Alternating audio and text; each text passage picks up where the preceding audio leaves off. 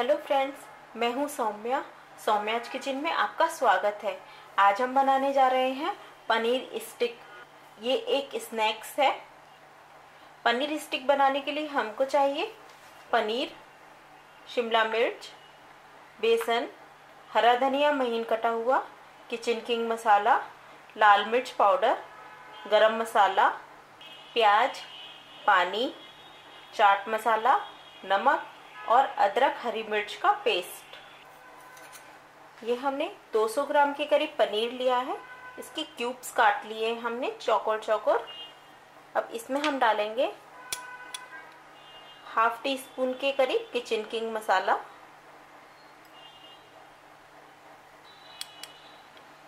Half teaspoon red chilli powder. Half teaspoon chaat masala. थोड़ा सा नमक और इसको मिक्स कर देंगे सबको। जिससे कि सारा मसाला पनीर के ऊपर चिपक जाए। ये सारा मसाला पनीर के ऊपर चिपक गया है। एक बाउल लेंगे। बाउल में हम डालेंगे बेसन। ये हाफ़ कप बेसन है।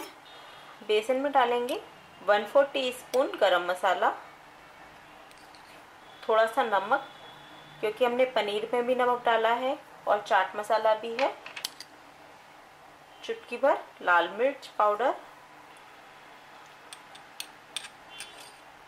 हाफ़ टी स्पून अदरक और मिर्च का पेस्ट और वन टेबल स्पून के करीब हरा धनिया।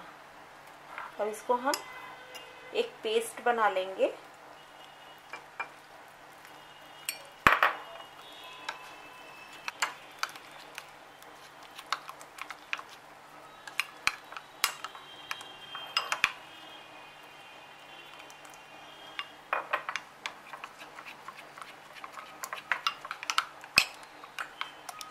हमारा पेस्ट बन करके तैयार हो गया। बहुत ज़्यादा गाढ़ा नहीं करना है और बहुत ज़्यादा पतला भी नहीं करना है पेस्ट को हमें। ये हम टूथपिक लेंगे।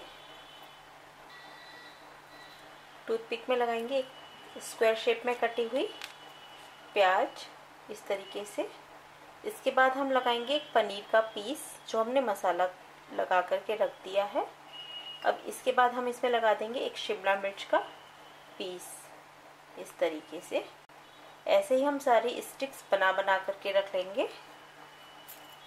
ये हमारे सभी पनीर स्टिक बन करके तैयार हो गए हैं। हमने कढ़ाई में ऑयल गरम करने के लिए रख दिया है। हमने जो पनीर की स्टिक बनाई है, उसको हम बेसन के घोल में डिप करेंगे।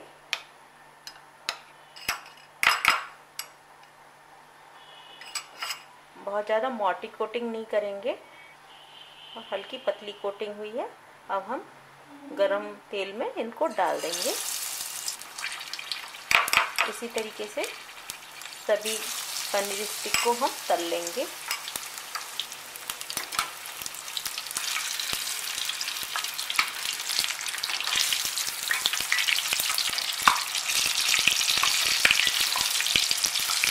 हल्के गुलाबी होने तक हम पनीर स्टिक को तलेंगे।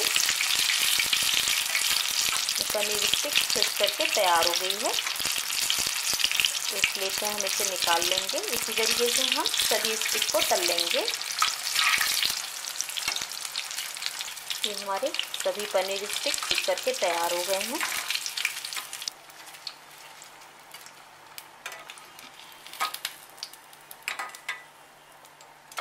एक प्लेट में हम पनीर स्टिक को सर्व करेंगे।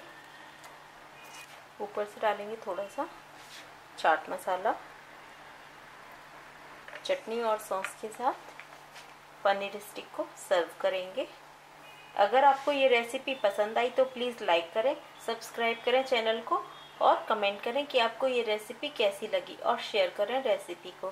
Thank you.